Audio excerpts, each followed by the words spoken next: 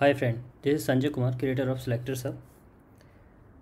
Many times we need this utility that we have to convert XPath into CSS selector. And sometimes like we feel that CSS selector is better than XPath. So in that case also many people wants to convert XPath into CSS. And situation where people wants to convert Selenium script into Cypress or any JavaScript based framework then also we need to convert XPath into CSS selector. So how easily that we can do this? Let's see with the help of selectors hub. So it's very easy now.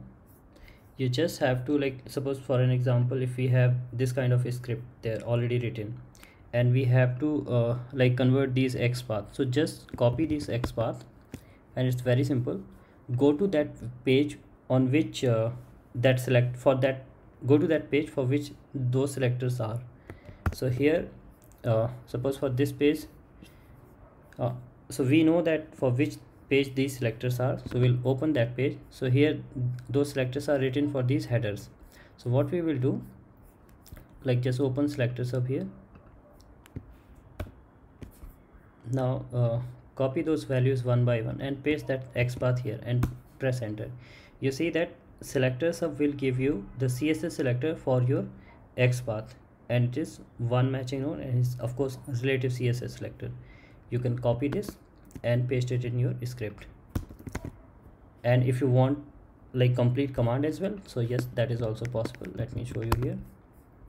Like here you turn on this and wherever you have written xpath in that just replace that with xpath value keyword and press enter. You see that? We got the complete css selector command. So now you just copy this and paste it here.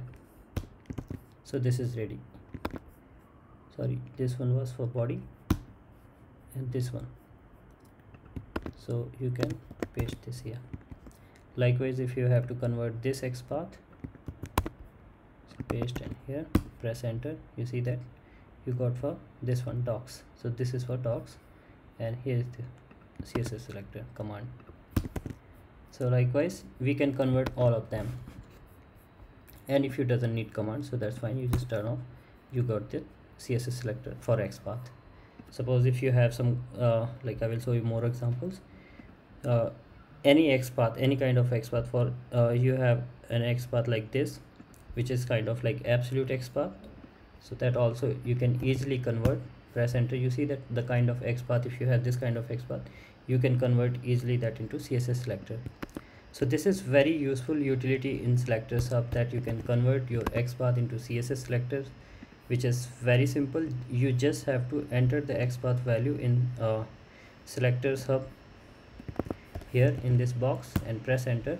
Selectors hub will give you the relative css selector for your xpath and it's very easy. You can copy and paste it here. So it's very simple and easily you can uh, like convert all all of your xpath into css selector. It will also show you that uh, the number of occurrences and everything if that will be possible. Of course so for your xpath if uh, css selector will be possible then definitely it will generate the unique css selector for your xpath and of course it will be the better than uh, better what we write in general. So yeah. Thank you. I hope uh, this video helps you and this feature will save huge amount of time for you. So yeah thank you thank you so much. Please uh, like share and if you need any uh, if you feel that any feature is missing or anything you want in selectors hub do let me know in the comment section. Please subscribe to the channel. Uh, there are like lot more features coming in selectors hub so stay tuned for guys. Thank you